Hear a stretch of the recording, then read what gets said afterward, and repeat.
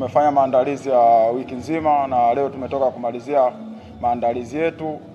E, sisi kama wachezaji tuko tayari kuelekea katika mchezo wa, wa kesho dhidi ya Orlando Pirates.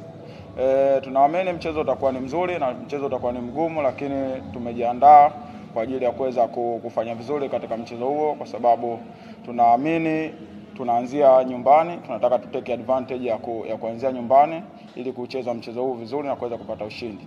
Kwa hiyo sisi kama wachezaji tumejiandaa vizuri na tuko tayari kwa ajili ya kuweza kupata ushindi katika mchezo wa kesho. Wachezaji, cha kwanza tuna, tuna malengo yetu ambayo tumejiwekea sisi kama sisi na klabu kwa ujumla. Kwa hiyo hii mechi tunaiangalia kwa, kwa sura tofauti kidogo kwa sababu tunahitaji ushindi, lakini ushindi hauwezi kutegemea ni magoli mangapi lakini tunataka tuende kupata ushindi ili kuweza kusonga mbele katika hatua nyingine. Hilo ndo ambalo sisi tunacho tunachoangalia.